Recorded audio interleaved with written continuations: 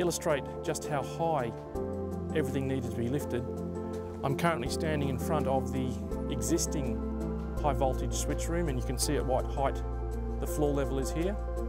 And just to my right is the height of the new HV switch room.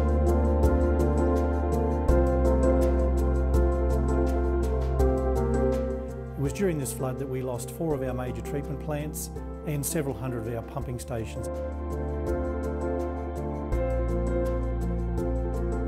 Four weeks later, in January 2011, the Brisbane River sent over a meter of water through the plant, destroying every switchboard, electrical motor and generator.